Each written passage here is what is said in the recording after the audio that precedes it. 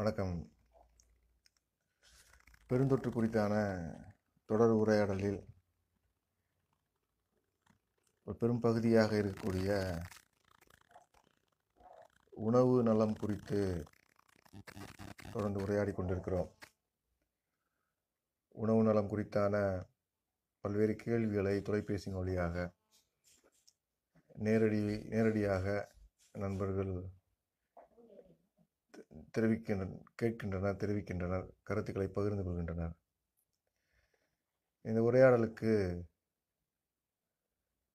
மிகுந்த பலம் தரக்கூடிய விவாதங்களாக மேன்மையூட்டுகிற நிகழ்வாக இந்த இந்த கருத்துக்களையும் பகிர்வுகளையும் பார்க்க முடிகிறது. மிகுந்த அக்கறையோடு இன்னும் செம்மையாக பல்வேறு தளங்களில் உரையாடல் நிகழ்த்தப்பட வேண்டும் என்று கேட்கப்படுகிறது. எல்லாவற்றையும் நாம் ஒரு பெருந்தொற்றுக்கு எதிராக நாம் நிகழ்த்துகிற மனித சமூகத்திற்கு அமைதிக்காக நாம் நிகழ்த்துகிற ஒரு தலையாய பணியாக மரியாதையோடு நாம் பார்க்கிறோம். ஒவ்- ஒவ்வொருவரின் கேள்வியும் கருத்தும் கூட இந்த பெருந்தொற்றுக்கு எதிராக பெருந்தொற்றை புரிந்து கொள்வதற்காக நிகழ்த்தப்படுகிற இந்த உரையாடலின் நோக்கத்திற்கு பலம் சேர்ப்பதாக இருக்கிறது. இது மிகுந்த நம்பிக்கைக்குரியது வரவேற்புக்குரியது மதிப்புக்குரியதாக நாம் பார்க்கிறோம். அப்- நேற்றைய உரையாடலில் உணவு பற்றிய உரையாடலில் உணவு எடுப்பதற்கு உணவை உட்கொள்வதற்கு ஒரு புரிதல் குறித்து பேசியிருந்தோம். உணவு குறித்து இன்னும் பல பகுதிகள் விரிவாக உரையாடப்பட வேண்டியிருக்கிறது. ஒரு பெருந்தொற்றிலிருந்து மனித சமூகத்தை சரியான திசை வழிக்கு நகர்த்தும் முகமாக உணவை புரிந்து கொள்வதற்கு உடலை புரிந்து கொள்வதற்கு மருத்துவங்கள் செய்கிற பணியிலிருந்து சற்று ஆழமாக ஒரு விரிவான உரையாடலாக இந்த உரையாடல் இருக்க வேண்டும் என்று பெருந்தொற்று நலம் குறித்து நாம் வெவ்வேறு கோணங்களில் பேசி பார்க்கிறோம். இன்று உணவை உட்கொள்வதில் இருக்கிற மிக முக்கியமான பகுதி விரதம் மேற்கொள்வது. விரதம் மேற்கொள்வது பரிந்துரையாக தரப்படுகிற மருத்துவங்கள் இன்றும் நம்மிடையே இருக்கின்றன. நீங்கள் சமகாலத்தில்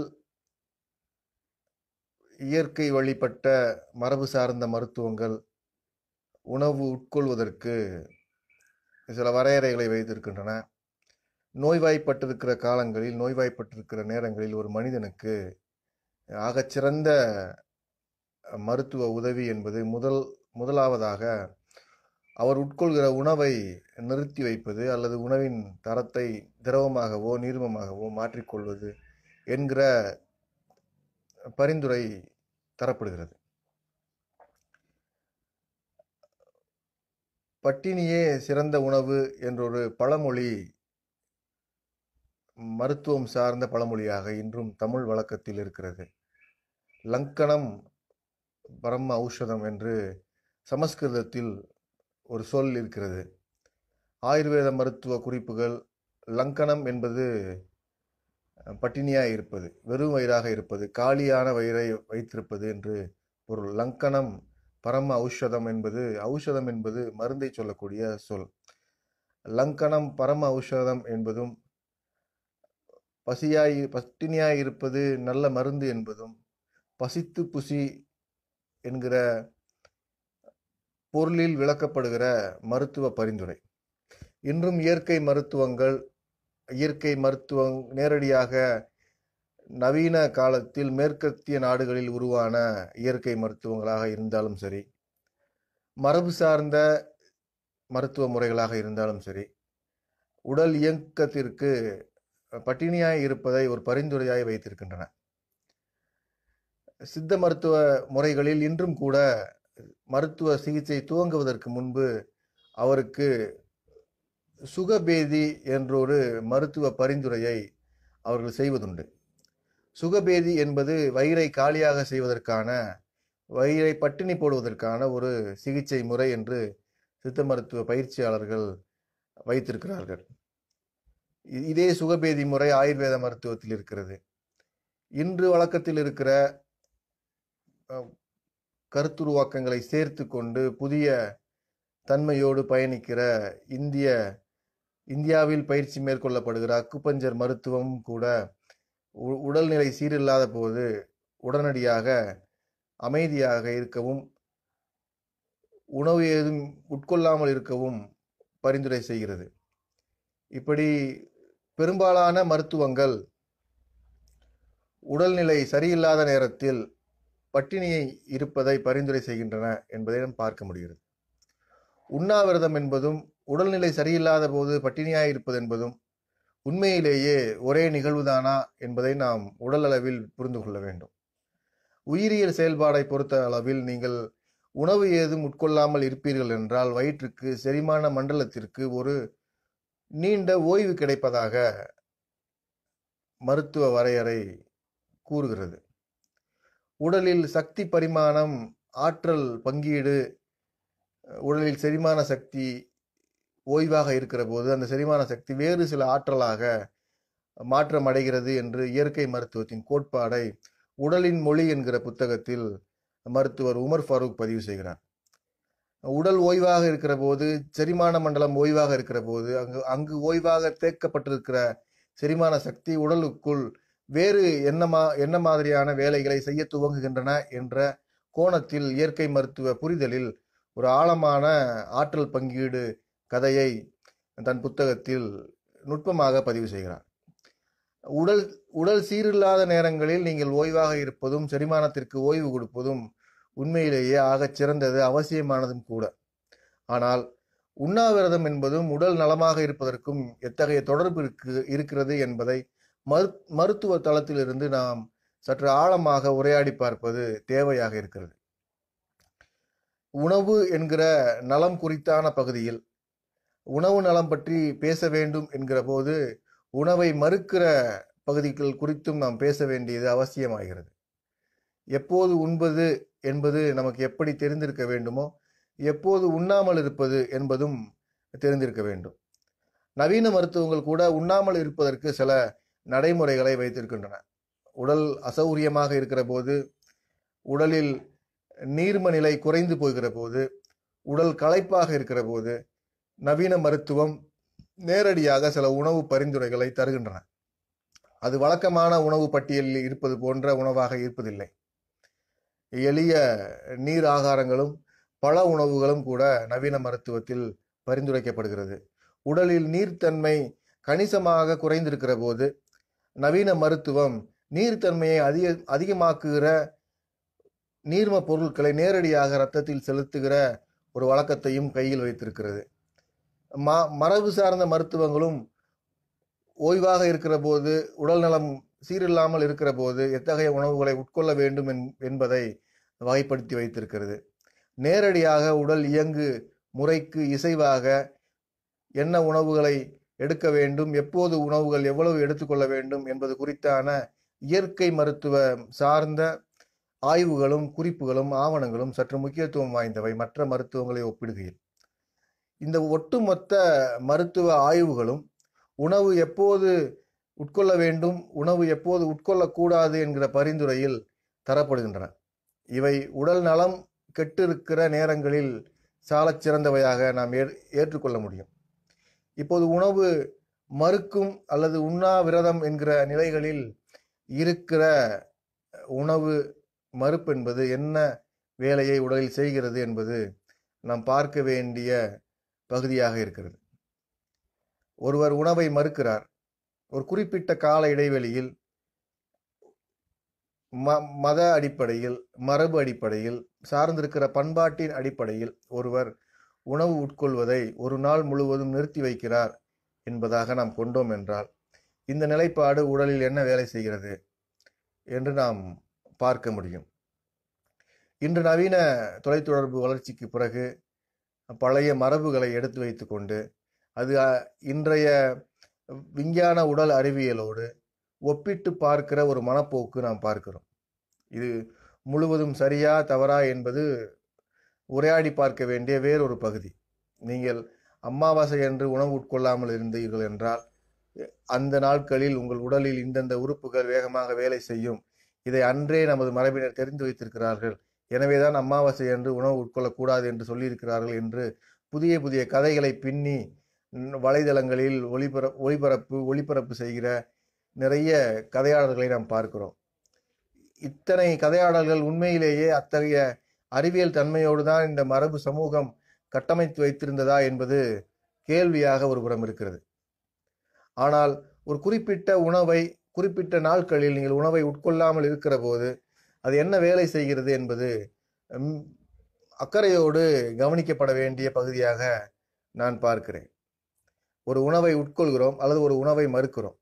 அந்த உணவு உடல் அளவில் என்ன வேலை செய்கிறது என்று நம்மால் ஆய்வு செய்ய முடியும். ஆனால் மனிதனின் இயக்கம் என்பது உடல் அளவில் சுருங்கி போவதல்ல என்பதை நாம் எப்போதும் நினைவில் வைத்துக் கொள்ள வேண்டும். மனிதன் உடலாலும் உள்ளத்தாலும் இயங்குகிற ஒரு இயங்குபொருள். மனிதனுக்கு உயிர் என்கிற நிலையிலிருந்து அதற்கு மேலாக ஒரு தளமும் அதற்கு மேலாக ஒரு தளமுமாக ஒரு நான்கு ஐந்து தளங்கள் இருக்கின்றன என்று மருத்துவங்கள் குறித்து வைத்திருக்கின்றன. சித்த மருத்துவத்தினுடைய தத்துவத்தில் தொண்ணூற்றி ஆறு வகையான தத்துவங்களாக சித்த மருத்துவம் உடலை பகுத்து பார்க்கிறது.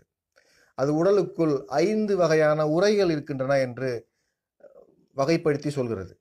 ஐந்து வகையான உரைகள் ஆனது இந்த உடல் என்று சித்த மருத்துவத்தினுடைய ஒரு தத் தத்துவ குறியீடு குறிப்பு இருக்கிறது. அன் வெறுமனே உணவை உட்கொண்டு வளருகிற பொருளாக இருக்கிற உணவை உட்கொண்டு வள- வளருகிற ஒரு பகுதி இதை அன்ன உடல் என்று சித்த மருத்துவ தத்துவம் பறைசாற்றுகிறது. சுவாசத்தை மட்டும் பிராணத்தை மட்டும் உணவாக உட்கொண்டு வளர்கிற உடலுக்கு அந்த உரைக்கு பிராண உடல் என்று சித்த மருத்துவம் வகைப்படுத்தி வைத்திருக்கிறது. இதைப் போலவே காண்கிற காட்சி கேட்கிற செய்திகளை சேகரித்து வைத்துக்கொண்டு அதன் மூலம் இயங்குகிற வளர்ச்சி அடைகிற உடலை மன உடல் என்று வகுத்து வைக்கிறது. இதைப் போல விஞ்ஞான உடல் அனந்த உடல் என்று ஐந்து உரைகளாக ஐந்து உடல்களாக சேர்ந்த ஒரு மனிதன்தான் முழுமையான மனிதன் என்று சித்த மருத்துவ தத்துவ மரபு தன் தத்துவ குறிப்புகளில் வைத்திருக்கிறது என்பதை நம் ஆவணங்களின் வழியாக பார்க்க முடிகிறது. இந்த வகையில் இருக்கிற உணவு உணவு தேவைக்கு உடலின் அமைப்பிற்கு உண்ணாவிரதம் என்பது வெறுமனே உள்ளே உண்கிற அரிசியையும் கோதுமையையும் தவிர்த்துவிட்டு பார்ப்பது என்பது போதுமானதல்ல. சித்த மருத்துவத்தினுடைய ஆய்வு குறிப்புகளை மட்டும் வைத்து நாம் பேசினாலும் கூட ஒரு மனிதன் வாழ்வதற்கு ஒரு மனிதன் என்பவன் ஐந்து உடலாக இருக்கிற போது அந்த மனிதன் வாழ்வதற்கு ஐந்து தளங்களில் தேவைப்படுகிறது. ஒரு மனிதன் வாழ வேண்டும் என்றால் அவன் உணவை பொருள் சார்ந்த உணவை உட்கொள்ள வேண்டும் என்பது ஒரு உடலுக்கான தேவை. அந்த உடலுக்குள் இருக்கிற ஒரு உரைக்கான தேவை. பின்பு பிராண காற்றினை சுவாசித்து கொண்டு உடலை வளர்த்து கொள்ள வேண்டிய பிராண உடலுக்கான தேவை என்பது ஒன்று இருக்கிறது. மன உடலுக்கான தேவை என்பது ஒன்று இருக்கிறது. விஞ்ஞான உடலுக்கான தேவை என்பது ஒன்று இருக்கிறது.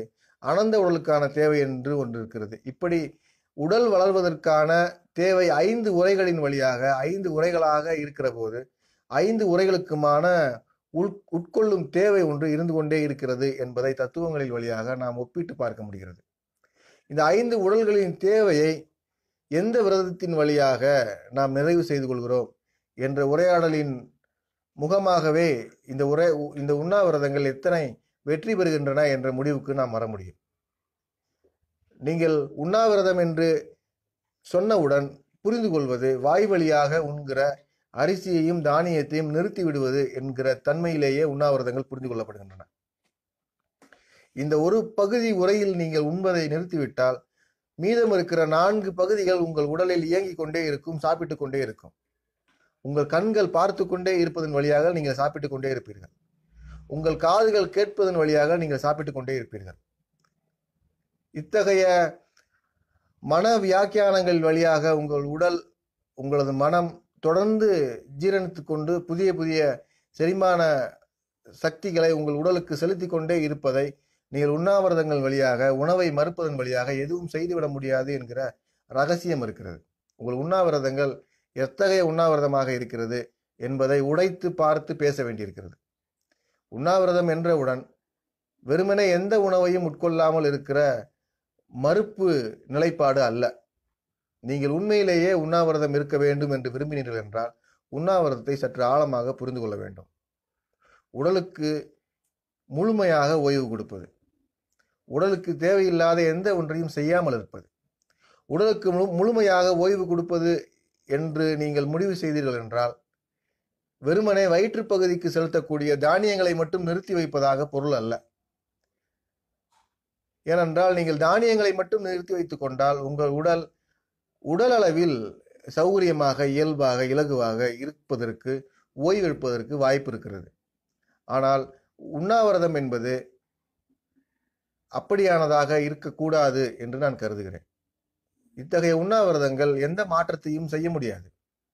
இன்று உங்கள் உடலை விடவும் உங்கள் மனமும் உங்கள் சுவாசமும் அதிக வேகத்தில் பரபரப்பாக இயங்கிக் கொண்டிருக்கிற போது உங்கள் மனதையும் உங்கள் சுவாசத்தையும் பின்பற்றியே உங்கள் உடல் இயங்குகிறது. உங்கள் சுவாசத்தையும் உங்கள் மனதையும் பின்பற்றியே உங்கள் உடல் இயங்குகிறது என்பதை நீங்கள் ஏற்றுக்கொள்வீர்கள் என்றால் உண்ணாவிரதம் உங்கள் உடலை ஒன்றும் செய்யாது என்பதை நீங்கள் பார்க்க முடியும். உங்கள் மனம் எங்கு திரும்ப வேண்டும் என்று நீ நினைக்கிறதோ அங்குதான் உங்கள் உடல் திரும்புகிறது.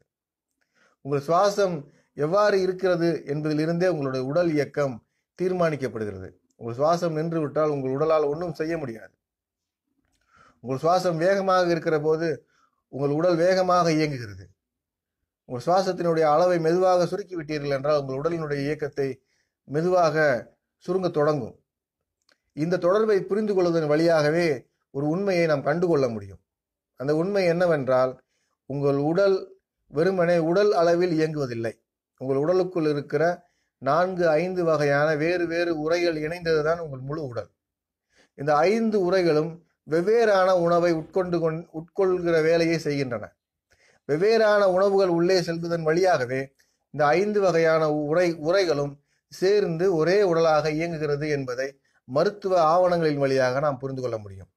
நவீன மருத்துவம் இந்த பகுதியில் இன்னும் ஆய்வுகள் மேற்கொள்வதற்கு காலம் எடுக்கும். நவீன மருத்துவம் இப்போதுதான் உடல் அளவில் இயங்கிக் கொண்டிருக்கிறது. புதிய ஆய்வுகளை செய்து கொண்டிருக்கிறது. சித்த மருத்துவங்களும் இன்னபிற மரபு சார்ந்த மருத்துவங்களும் கூட இந்த ஆய்வுகளில் நிறைய ஆவணங்களை குறித்து வைத்திருக்கின்றன சேகரித்து வைத்திருக்கின்றன. இன்னும் அக்குப்பஞ்சர் மருத்துவம் சீன மரபுகளில் இருக்கிற அக்குப்பஞ்சர் மருத்துவம் முழுக்க புராண உடலில் வேலை செய்கிற மருத்துவமாக இருக்கிறது என்று அக்குப்பஞ்சர் அக்குப்பஞ்சர் மருத்துவ ஆவண நூல்கள் சொல்கின்றன.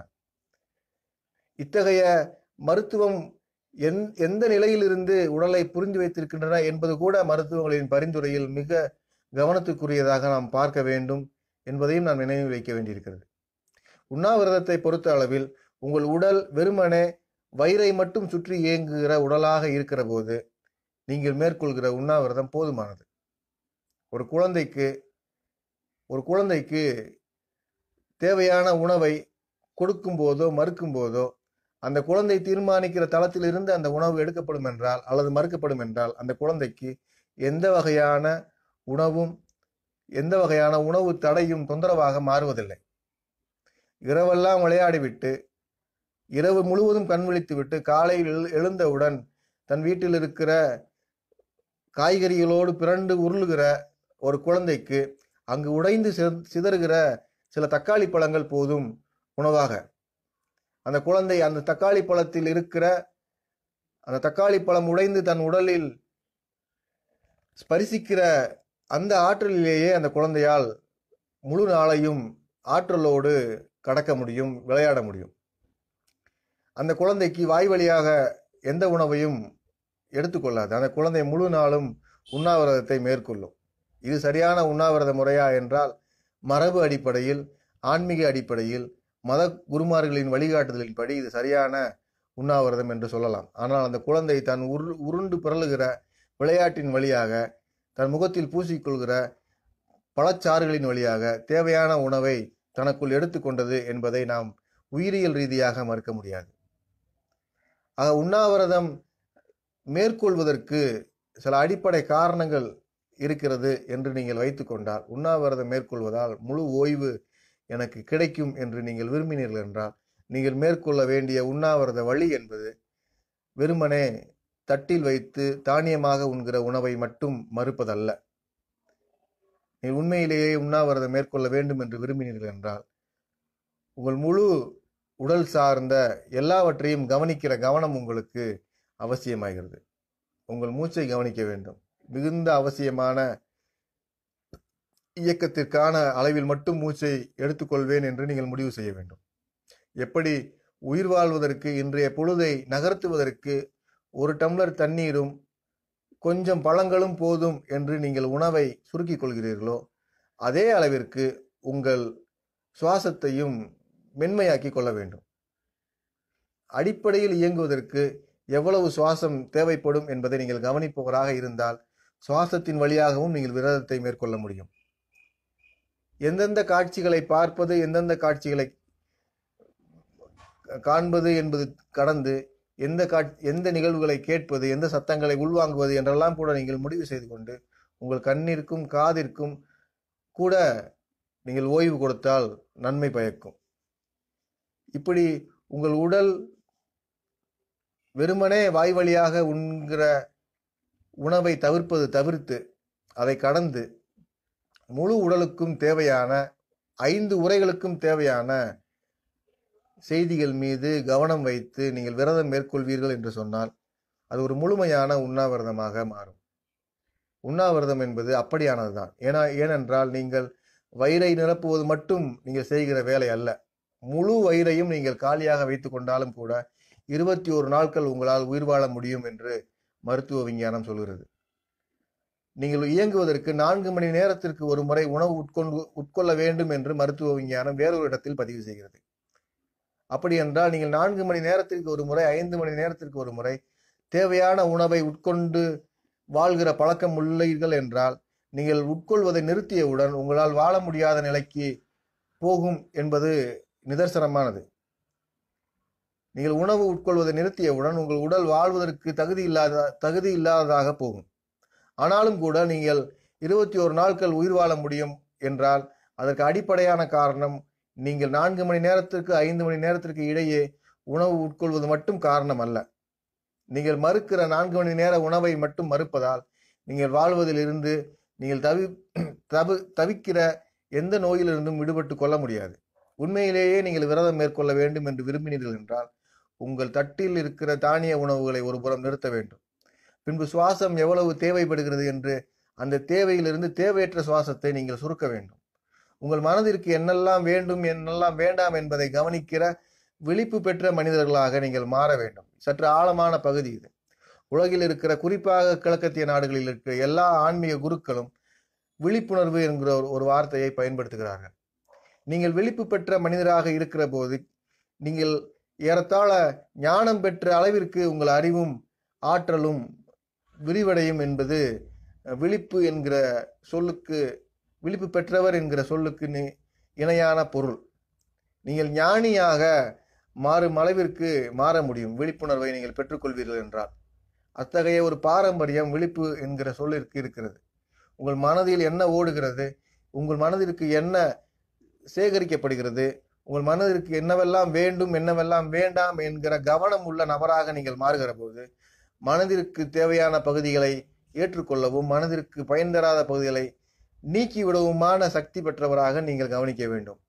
இப்படியான கவனமும் உங்கள் விரதத்தை முழு வெற்றி பெற செய்வதான கவனம். இப்படி அடிப்படையான மூன்று நிலைகளில் நீங்கள் வேலை செய்தே ஆக வேண்டும். நான்காவதாக இருக்கிற ஐந்தாவதாக இருக்கிற நிகழ்வுகள் தன்னிச்சையாக நிகழ்வதாக சித்த மருத்துவ குறிப்புகள் கூறு- கூறுகின்றன. ஆனால் அடிப்படையா அடிப்படையில் நீங்கள் இந்த மூன்று நிகழ்வுகளில் மூன்று பகுதிகளில் வேலை செய்தே ஆக வேண்டும். நீங்கள் விரதம் இருக்க தயாராவீர்கள் என்று சொன்னால் உங்கள் விரதத்திற்கு நீங்கள் ஏற்பாடு செய்து கொள்வீர்கள் என்று சொன்னால் வெறுமனே வயிற்றை காலி செய்வதாக மட்டும் இல்லாமல் உங்கள் சுவாசத்தை சீர்படுத்துவதாகவும் உங்கள் விரதம் மாற வேண்டும். தொடர்ந்து உங்கள் மனதிற்கு என்ன வேண்டும் என்ன வேண்டாம் என்பதை கண்காணிக்கிற தன்மையிலும் உங்களது விரதத்தன்மை மாற வேண்டும். இந்த மூன்று நிலைகளிலும் உங்கள் விரதம் என்பது மாற்றம் அடையும் என்று சொன்னார் இந்த மூன்று நிலைகளிலும் நீங்கள் முடிந்தவரை விரதத்தில் வெற்றி பெறுவீர்கள் என்று சொன்னால் அது ஒரு நிறைவான விரதமாக இருக்கும். அப்போது நீங்கள் மன அளவில் சுவாச அளவில் உடல் அளவில் மூன்று நிலைகளிலும் இதமான இன்பமான மகிழ்ச்சியான இசைவான ஒரு தளத்திற்கு வந்து சேர்வீர்கள். இந்த விரத குறிப்பு என்பது மிகுந்த முக்கியத்துவம் வாய்ந்தது. எப் எப்படி விரதம் இருப்பதன் வழியாக உடல் நோய்கள் குணப்படுத்த முடியும் என்று மருத்துவங்கள் குறி குறித்து வைத்திருக்கின்றனவோ அதே அளவிற்கு நீங்கள் மனதளவிலும் சுவாச அளவிலும் விரதத்தை மேற்கொள்வீர்கள் என்று சொன்னால் ஒரு அளப்பரிய ஆற்றலை உங்களுக்குள் பெற்றுக்கொள்கிற அனுபவம் உங்களுக்கு ஏற்படும். நிதானமான சுவாசிக்கிற ஒரு நாள் பொழுது அடுத்து வருகிற நாட்களுக்கு அதீதமான நோய் எதிர்ப்பு ஆற்றலை உங்களுக்குள் சேகரிக்க சேகரிப்பதற்கு உதவி செய்யும். மிகுந்த கவனத்தோடு அவசியமான காட்சிகளையும் மன உணர்வுக்கு ஏற்றாற் போல இருக்கிற காட்சிகளையும் செய்திகளையும் மட்டும் நீங்கள் உள்வாங்கிக் கொள்வீர்கள் என்று சொன்னால் நீங்கள் தவிர்த்த பல்வேறு காட்சிகளை பயனற்ற காட்சிகளை நீங்கள் நீக்கி விடுவீர்கள் என்று சொன்னால் ஒரு நாள் பிறகு நீங்கள் சேகரிப்பு இல்லாத வெறும் நபராக சுத்தமான நபராக உங்கள் மன அளவில் இருப்பீர்கள் என்பதை நீங்கள் உணர முடியும். உணவு காலியாக இருக்கிற போது உங்கள் ஜீரணத்தில் எத்தகைய ஓய்வும் பலமும் கிடைக்கிறதோ அதே பலமும் ஆற்றலும் நீங்கள் உள்- சுவாசத்தையும் மன உணர்வையும் சீர்படுத்துகிற போது பெற்றுக்கொள்ள முடியும் என்பது என்னுடைய பரிந்துரை. அதை செய்து பார்க்கிற ஒவ்வொருவரும் மிகச்சிறந்த நோய் எதிர்ப்பு ஆற்றலோடு நிதானமான மனநிலையோடு அதீதமான மன ஆற்றலோடு இருப்பதை நான் பார்த்திருக்கிறேன். நான் செய்தும் பார்த்திருக்கிறேன். பரிந்துரைத்தும் பார்த்திருக்கிறேன். இத்தகைய நிகழ்வுகளின் வழியாக விரதம் என்பது ஒரு ஆழமான உடல் பலத்தை நோய் எதிர்ப்பு ஆற்றலை கொடுத்திருக்கிறது கொடுக்கிறது. அத்தகைய தெளிவான ஆழமான வேறொரு கோணத்தில் மருத்துவம் சாராது உடல் கடந்து வேறொரு கோணத்தில் உண்ணாவிரதம் பற்றி நாம் புரிந்து கொள்ள வேண்டியிருக்கிறது. இத்தகைய உண்ணாவிரதங்கள் மட்டுமே எதிர்கால சந்ததிகளுக்கு நாம் கற்றுக் கொடுக்க வேண்டிய மிகச்சிறந்த நோய் எதிர்ப்புக்கான விரத முறை நோய்களை நம்முன் நிறுத்தி அந்த காலகட்டத்தில் இந்த நோய் ஏன் வந்தது என்று ஆய்வு செய்வது ஒரு புறம் இருந்தாலும் கூட நம் நோயை உரட்டுவதற்கு நம் உடல் அளவில் நம் உள்ள அளவில் நம் சுவாச அளவில் நம்மை தயார்படுத்திக் கொள்ள வேண்டும் என்று எதிர்கால குழந்தைகளுக்கும் சந்ததிகளுக்கும் ஏதாவது செய்ய வேண்டும் என்று சொன்னால் விரதம் கடைபிடிப்பதை இந்த மட்டத்தில் துவங்க வேண்டும். இத்தகைய ஆழத்தில் துவங்க வேண்டும். மூன்று நிலைகளிலும் உங்களது விரதம் செம்மையாக நிகழும் என்றால் மிகச்சிறந்த நோய் எதிர்ப்பு ஆற்றல் உள்ளவராக அந்த விரதம் உங்களை மாற்றி வைக்கும். இந்த வெற்றி ஒரு பெருந்தொற்று காலத்தினுடைய வெற்றி மட்டுமல்ல ஒரு எதிர்காலத்தில் இருக்கிற முன்மாதிரியான நபராக உங்களை மாற்றிக்கொள்வ கொள்கிற வெற்றி. ஒரு பெருந்தொற்றுக்கு எதிராக வேலை செய்கிற வெற்றியாக மட்டும் உடல் அமைப்பாக மட்டும் உங்கள் உடல் மாறப்போவதில்லை. குழந்தைகளுக்கும் உங்களை சுற்றி இருப்பவர்களுக்கும் நோயை அற்று போவதற்கு என்னவெல்லாம் செய்ய வேண்டும் என்று கற்றுக் கொடுக்கிற ஆசிரியராக உங்கள் உங்களை மாற்றிவிடும். இதை ஒரு தியானம் போல பயிற்சி போல விருப்பமாக செய்தீர்கள் என்று சொன்னால் முழு உடலையும் இன்னும் இணக்கமாக இசைவாக புரிந்து கொள்வதற்கு நிறைய சாத்தியங்கள் இருக்கின்றன. விரதம் உங்களை காப்பாற்றுவதற்கு பயன்படுத்தப்படுகிறது என்று இயற்கை மருத்துவத்தில் ஒரு வார்த்தை இருக்கிறது. அது இந்த மூன்று நிலைகளிலும் நீங்கள் மேற்கொள்வீர்கள் என்று சொன்னால் இயற்கை மருத்துவத்தினுடைய சொல் நிச்சயமாக மெய்ப்பிக்கப்படும். ஒரு மருத்துவம் கடந்து உங்கள் விரதம் நிலை பெற வேண்டும். உடலில் மட்டும் இல்லாமல் உடலில் துவங்கி சுவாசம் வழியாக உங்கள் மன அளவில் உங்கள் விரதம் வெற்றிகரமாக நிறைவு பெறும் என்றால் பெருந்தொற்றுக்கு எதிரான வெற்றியாளர்களின் முதல் வரிசையில் நீங்கள் இருப்பீர்கள். தொடர்ந்து பேசுவோம்.